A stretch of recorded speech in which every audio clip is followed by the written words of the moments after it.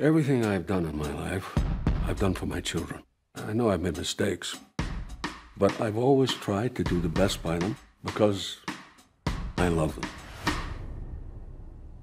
Have you thought about the possibility that your children are actually scared of you? Oh, fuck off. I want a broadcast network. I want to see what other news operations we can sweep up. Local TV? Dad, nobody watches TV. Why shouldn't we do all the news? Uh, well, Kim Jong pop, because that's not how things work in this country.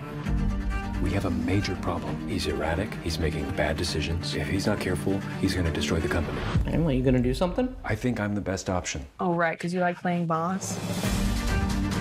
This is my vision. I take over. You two under me. Under you. Can we think about it? Yeah, of course. I thought about it. Fuck you.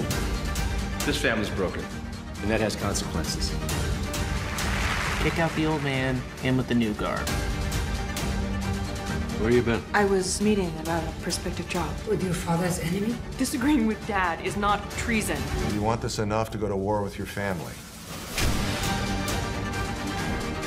It's rebellion. Sabotage. Deliberate attempt to undermine my whole business. That's the death pit. Take a look. I feel like I might not like it in the death pit. Stock's gone below 130. We could death spiral here. Who's in charge right now? It's my company. You are a fucking nobody.